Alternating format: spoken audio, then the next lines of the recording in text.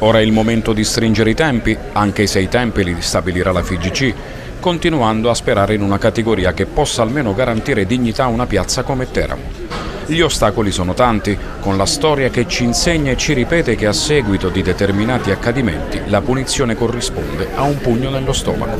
La richiesta per l'iscrizione in Serie D è partita, non quella per l'eccellenza, ma come ha ribadito in diverse occasioni il presidente del Comitato regionale Abruzzo Ezio Memmo, per il Teramo forse non ci sarebbero state speranze, visti anche i precedenti. Siamo con eh, Romolo De Baptistis, eh, perno di questa neo società SSD Città di Teramo.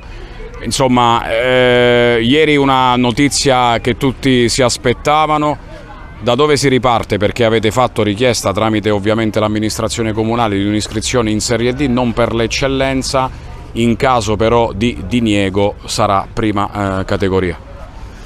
Eh, guarda, noi eh, sinceramente crediamo eh, nella, nella, federazione, crediamo di poter fare la Serie D, siamo pronti a fare la Serie D, siamo fiduciosi che la federazione possa accogli accogliere la, la, nostra, la, nostra, richiesta di iscrizione perché sinceramente eh, la SSD Città di Teramo rappresenta effettivamente la città, nelle imprese, eh, nei cittadini, nei ragazzi, eh, la città di Teramo mira a ricostruire quello che è un progetto giovanile, eh, appoggiandosi a quello che oggi è una realtà da loro definita elite, quindi la scuola calcio Bonolis.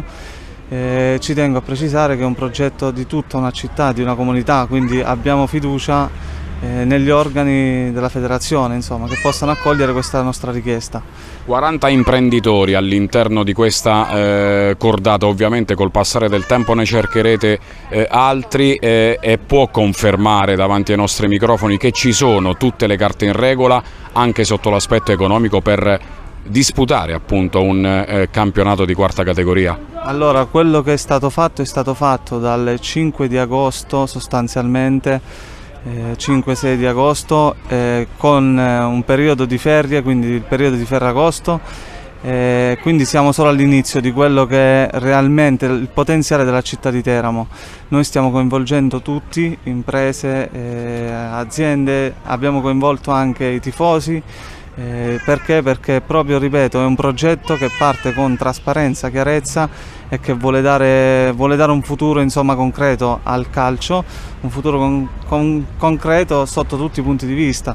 Quindi è chiaro che bisogna ripartire, eh, ripartire e farlo in maniera, in maniera rapida. Noi siamo pronti ad oggi intanto ad avviarci verso questo cammino, ma sicuramente eh, tra 40 che siano soci e sponsor, sicuramente ci sono tanti altri che ancora stiamo contattando e stiamo aspettando che rientrino dalle ferie.